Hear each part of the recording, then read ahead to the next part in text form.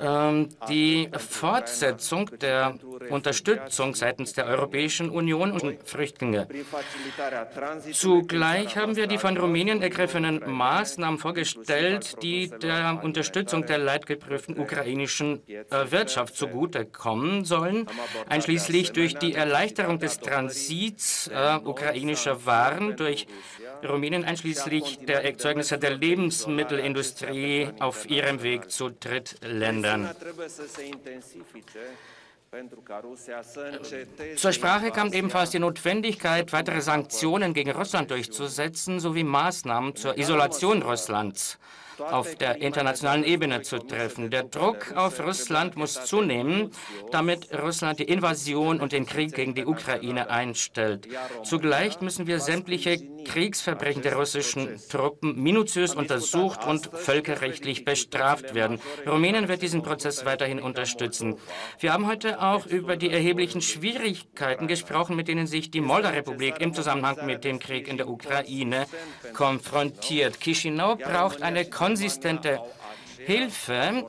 Rumänien und Deutschland haben in dieser Hinsicht dieselbe Einstellung hinsichtlich der Unterstützung der Moller-Republik. Rumänien zählt auch auf Deutschland hinsichtlich der ähm, Veranstaltung einer zweiten Konferenz der Hilfsplattform für die Moller-Republik.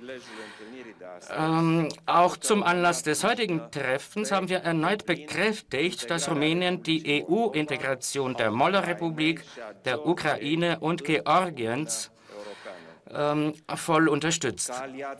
Als NATO-Verbündete teilen Rumänien und Deutschland dasselbe Ziel, das wesentliche Ziel, den Frieden und die Sicherheit im Schwarzmeerraum zu sichern. In diesem Zusammenhang möchten wir eine Vertiefung der Kooperation mit Deutschland, einschließlich in der Vorbereitung des NATO-Gipfels in Madrid, wo wichtige Entscheidungen getroffen werden zur Konsolidierung der Ostflanke hinsichtlich der ähm, Verteidigung. Ich habe zugleich äh, Herrn Bundespräsidenten Steinmeier gedankt für die äh, Teilnahme Deutsch äh, Teilnahme Deutschlands an der Sicherung des Luftraums Rumäniens. Zugleich haben wir erneut die ähm, legitimen er, ähm, Erwartungen Rumäniens bekräftigt hinsichtlich des Beitritts zum Schengen-Raum.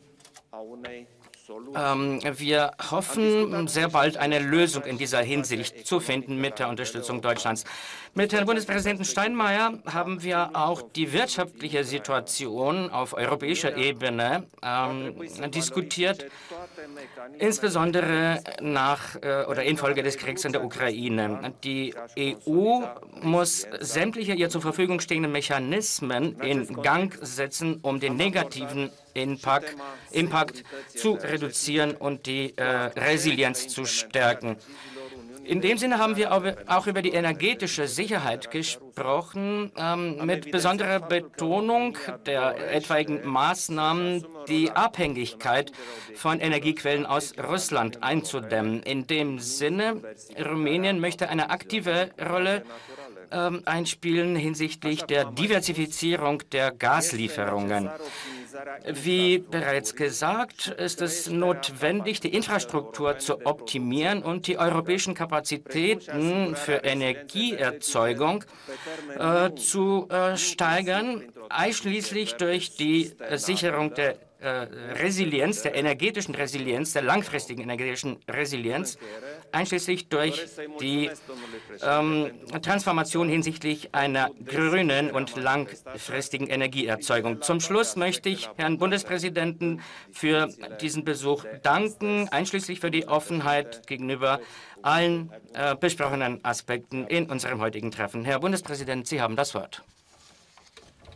Vielen Dank, Herr Präsident, äh, für die Einladung nach Bukarest. Ähm, ein Besuch, der schon hätte früher stattfinden sollen, den wir zweimal mit Blick auf die Pandemie verschieben mussten. Ich freue mich, dass ich zurück bin bei Freunden. So habe ich ins Gästebuch hineingeschrieben. Und wenn ich sage, zurück bei Freunden, meine ich natürlich die freundschaftliche Beziehung zwischen unseren beiden Staaten. Aber, Herr Präsident, ich darf auch unsere persönliche Beziehung zueinander mit diesem Begriff belegen. Ich erinnere mich noch sehr gut an unser erstes Zusammentreffen vor mehr als 15 Jahren, als Sibiu Kulturhauptstadt Europas wurde.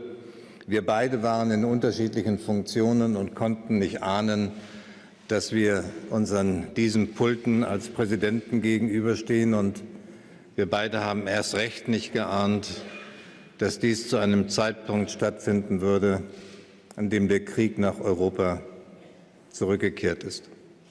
Ich komme gleich darauf zurück, will aber vorher sagen, in diesen 30 Jahren seit äh, der Unterschrift unter den deutsch-rumänischen Freundschaftsvertrag ist viel geschehen. Ich glaube, unsere beiden Staaten und ihre Repräsentanten haben die Zeit genutzt, um unsere beiden Länder nah zueinander zu bringen. Wir sind eng miteinander verbunden heute. Das gilt politisch.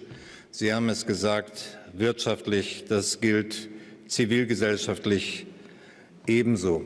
Ich hebe das hervor, weil vielleicht nie so deutlich geworden ist wie in diesen Zeiten, wie wichtig Geschlossenheit in Europa, wie wichtig auch Geschlossenheit im transatlantischen Bündnis ist. Dies in einer Zeit, wo ein furchtbarer Angriffskrieg Russlands gegenüber der Ukraine stattfindet mit Zerstörung, Tausenden von Toten, Verletzten, Millionen von Vertriebenen, die auf der Flucht sind und viel menschlichem Leid. Es ist mir, es ist uns beiden ganz wichtig, dass wir diesen Zusammenhalt nicht nur öffentlich betonen, sondern dass wir diesen Zusammenhalt wahren in den nächsten Wochen und Monaten, in denen dieser Krieg weitergehen wird.